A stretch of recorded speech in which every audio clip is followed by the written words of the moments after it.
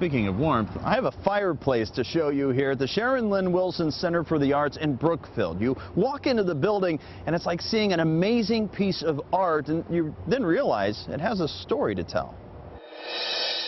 The stone itself reminds me of cello.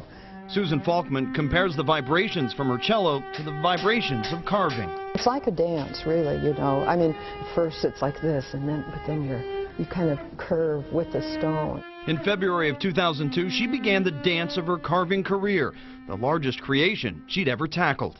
I started down here looking up at this tower of limestone, cold February morning, and I I was in tears. The building was did not exist. Mm -hmm. There was just the tower of the fireplace, 40 feet. She'd built her models in her workshop, but the real thing was 20 times that size.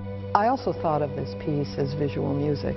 Suddenly something clicked, a, a song she'd just shared with her son. Inch by inch, row by row, and that song got me through the piece. Started in the very cold of winter, February, and uh, was up in the very hot sun of August. The end result is a flowing, streaming masterpiece where stone looks soft and lifelike. It's also the human kind of slowly becoming upright and the seed grows into the tree. Hidden life forms are carved into the streams of stone that reach high to the ceiling. That's the reason I put in the figure mm -hmm. so that people could have something to look for you know, and then the young children would say, oh, Mommy, Daddy, can you see that dancer up there? An inviting place during this season to celebrate.